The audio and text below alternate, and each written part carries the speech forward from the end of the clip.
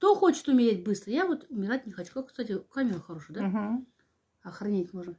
Я тоже хочу поставить. Про страхи. Насчет страхов, ребята, если у кого-то желание есть разобраться со своими страхами, пожалуйста, пишите, обращайте.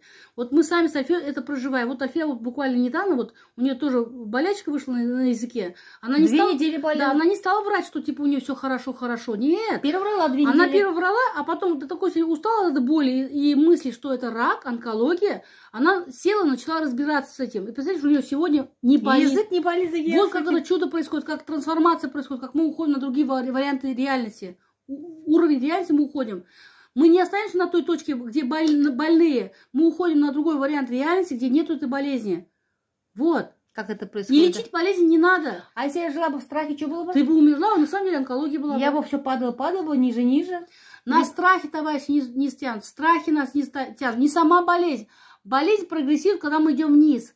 И болезнь больше и больше растет.